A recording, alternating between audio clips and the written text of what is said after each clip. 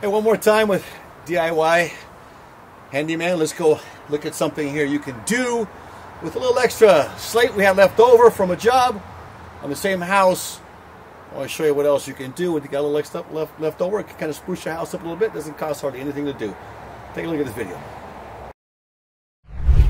So we had a, a, a pass through here. We're in the barbecue area. The slate we put in was over here in this area here. We can pan out with the camera and take a look and see. We got the barbecue area and we got the slate. And so we can bring it back this way.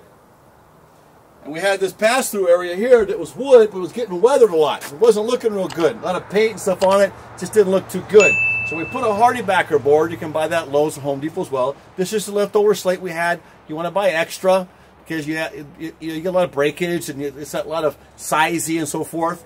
So we came over here then. We put this underneath here. So this holds this up while we put this face on. Okay. We cleaned off the wood. We put a HardieBacker board down, which receives it, it, it, it strengthens it and it, holds for weather too and water. Then we put the slate on, and now we're to put the final cuts on here, and this will hold us up until it dries, and we can grout this up tomorrow and we grout that. Just a little extra for an hour's work.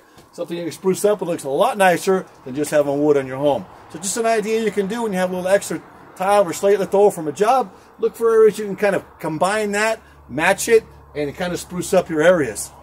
DIY Handyman. We're trying to teach you how to be a professional.